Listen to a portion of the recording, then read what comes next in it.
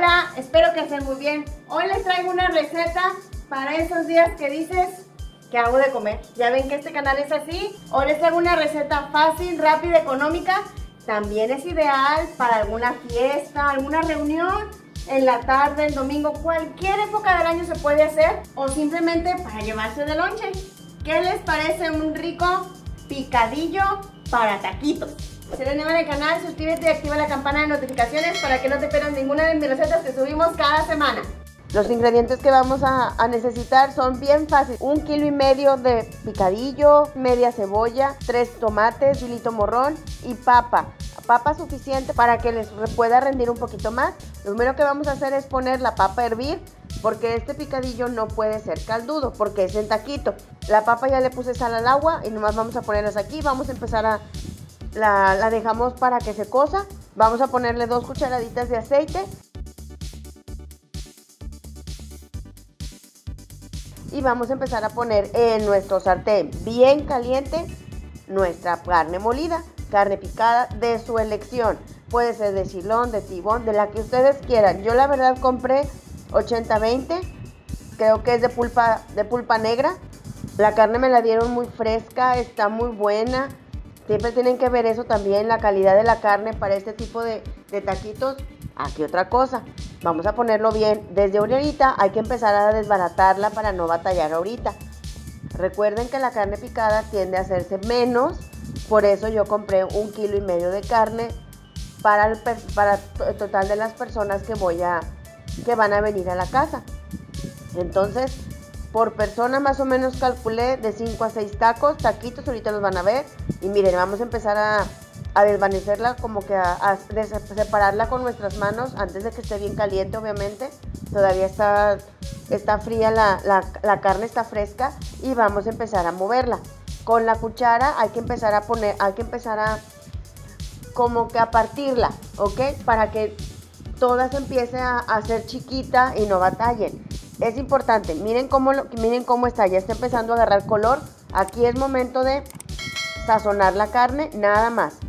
Pimienta, comino, sal.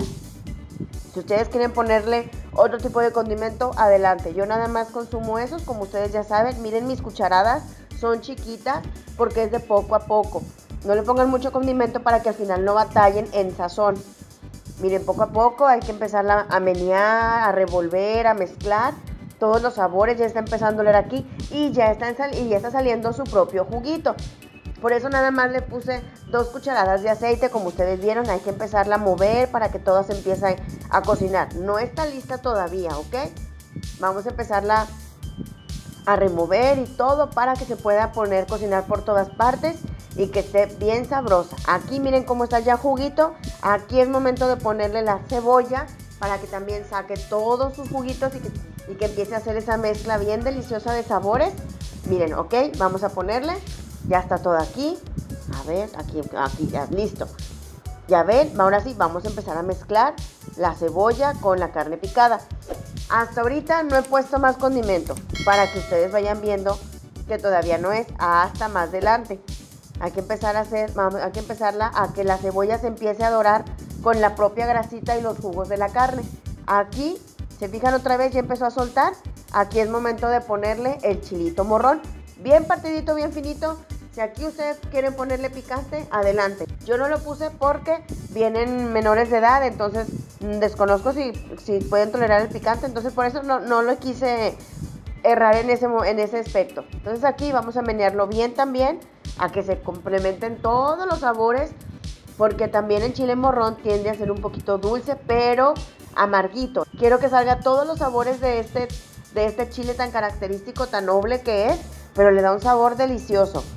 Mire, se fijan, otra vez ya empezó a salir agüita. Aquí es momento de ponerle el tomate. También pártanlo bien, chiquito, finito, para que se vea bonito en la presentación.